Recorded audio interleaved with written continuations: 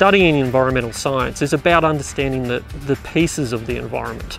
You know, the soils, the geology, the climate, the hydrology, all of these things interact.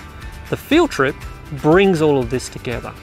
It's hands-on experience, you gain a lot more from a practical perspective rather than in class just looking at your textbook. So this is Kioloa, uh, it's part of the ANU campus and it is a property on the south coast. We are looking at how diverse the plant groups are. The habitats here, the whole vegetation, it's just a different world and, and it's it's beautiful to come here and, and explore and, and to have such knowledgeable people about the local vegetation. It's, it's, it's been a wonderful experience. It was fantastic being in Queensland on a coral reef for almost two weeks. You can stumble out of the classroom, walk straight out onto the beach and straight into the lagoon. So you can go and see all the things that you've been learning about in class.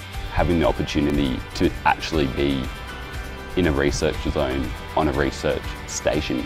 It seems like one of the most unique opportunities at ANU.